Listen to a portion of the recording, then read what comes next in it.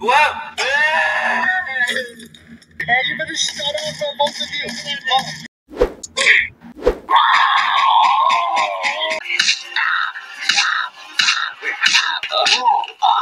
Ha! Jump scare!